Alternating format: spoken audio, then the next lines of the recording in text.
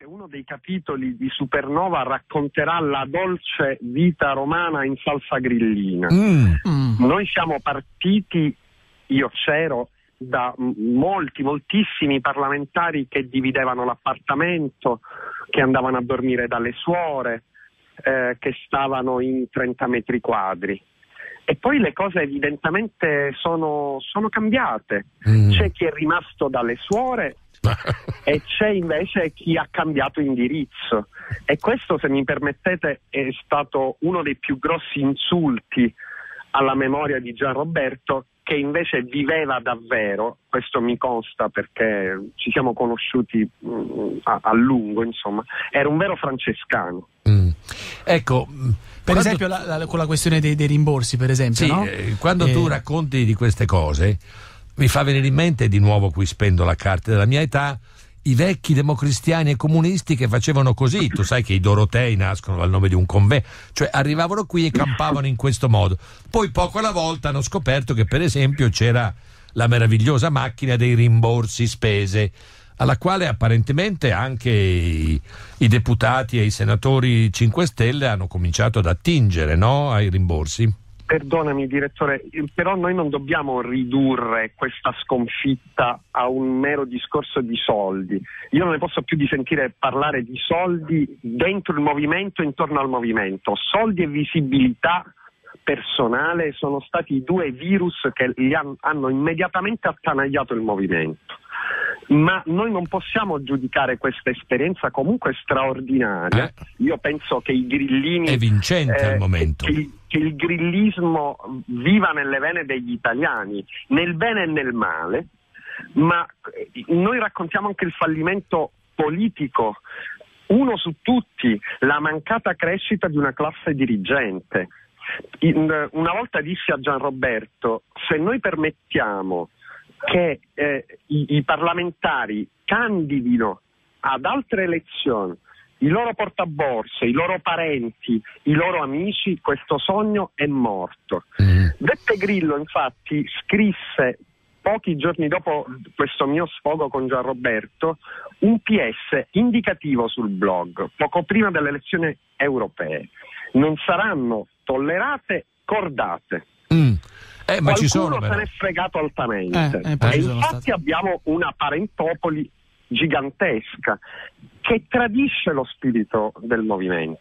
Ecco, ma gli iscritti però, gli attivisti, i militanti, quelli che ci stanno coprendo di insulti, queste cose non le sanno. Vivono ancora. No, no, le sanno benissimo. Ah. Una delle mutazioni che noi racconteremo è che il movimento dei cittadini, io sono fra quei 9 milioni di persone che l'ha votato, votato sì è diventato il movimento dei fan, mm.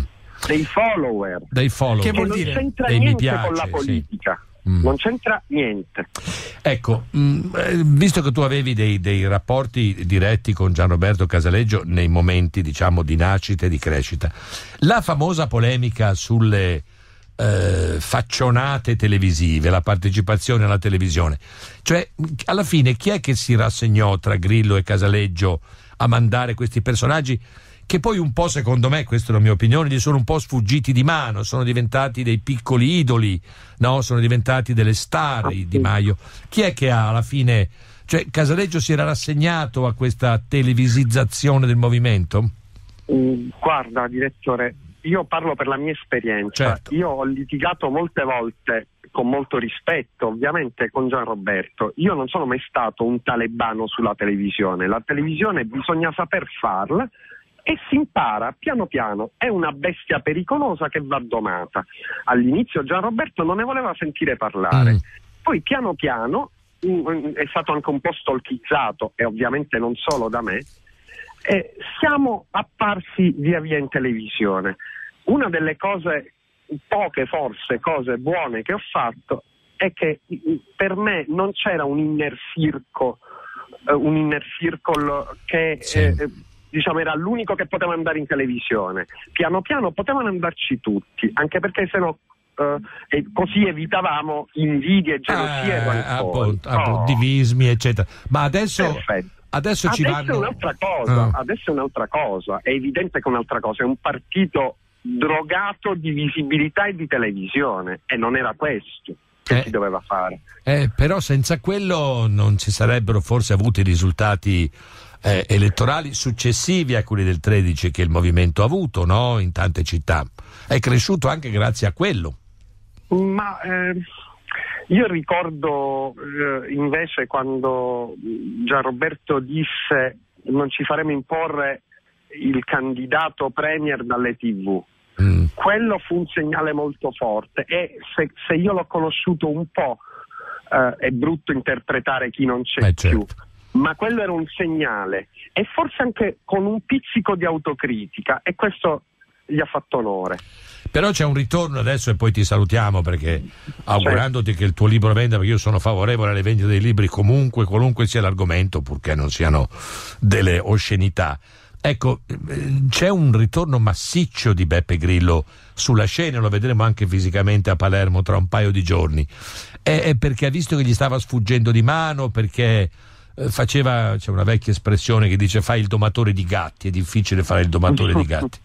C'è un ritorno no? molto forte di lui che era un po' stanchino, che si era messo di lato. Ma significa molto questo ritorno, vuol dire che appunto i problemi che, che, che vengono sollevati sono reali, perché se no Beppe sarebbe rimasto a occuparsi della sua famiglia, de, della sua vita, insomma, e non sarebbe sceso con così forza a, a, a riprendere le redini. Mm. Poi se queste redini lui riuscirà a riprenderla e a, come diceva un tempo, a resettare tutto, eh. Eh, sarà una buona cosa. Io credo che la democrazia italiana abbia bisogno di un Movimento 5 Stelle. Mm. Probabilmente, sicuramente, secondo noi, non di questo Movimento 5 Stelle. Eh, vedremo perché sai, il problema è sempre quello, il movimentismo, io ho vissuto quello di altri anni, quando poi si avvicina al potere è come la terza rotaia de- delle metropolitane, esatto. ci si scotta Senti, io ti faccio ancora, ti ringrazio, grazie, ti faccio tanti auguri per il tuo libro. Beh, ricordiamo, ricordiamo, aspetta, ricordiamo perché è Supernova, sì. eh, potete contribuire alla, alla, eh. insomma, alla, al finanziamento di questo libro attraverso il sito Produzioni dal Basso, comunque www.supernova5stelle.it col 5 a cifra. Supernova 5 Stelle, lupo, auguri, bocca al lupo. Ma tu andrai grazie. anche a Palermo? Vai, andrai a Palermo? A Palermo? Siciliano. Io vivo in Sicilia, eh, per cui certamente seguirò uh, la, la festa. Va bene, grazie, ciao, ciao un grande ciao. saluto, grazie. Un abbraccio, un abbraccio. I soldi sono un fattore importante, se no non avrebbero avuto tutte quelle questioni sugli scontrini. Oggi noi non sappiamo effettivamente quanto spendono dalla diaria, potrebbero tranquillamente farci la cresta, pagarsi le cravatte, la golf, come qualcuno mi racconta, senza che i cittadini che controllano in rete possano saperlo, perché i giustificativi non ci sono. Il tema dei soldi è importante perché il Movimento 5 Stelle non ha creato una nuova classe dirigente. Cioè lei sta dicendo che non c'è trasparenza in realtà sui soldi gestiti dal Movimento 5 Stelle dai parlamentari? Assolutamente, ma se si va sul sito www.tirendiconto.it, che è quello che loro usano per far vedere che ridanno i soldi, eccetera, e uno ci può andare in tempo reale attraverso internet, si accorge che ci sono delle voci generiche senza giustificativi e che poi c'è una voce che si chiama altro, che è molto alta per molti parlamentari, anche talebani, e non si capisce cosa ci stia dentro.